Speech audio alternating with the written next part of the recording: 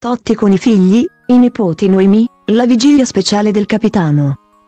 Natale in famiglia per Francesco Totti.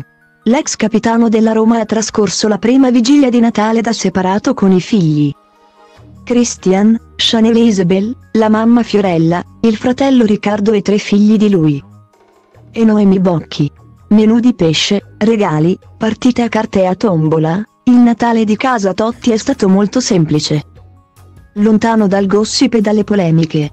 Il Natale di Lari Blasi nessuna indiscrezione social.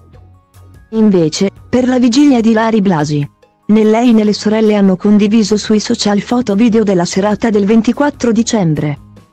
Chissà se oggi, giorno di Natale, la conduttrice TV farà un'eccezione. Virgola.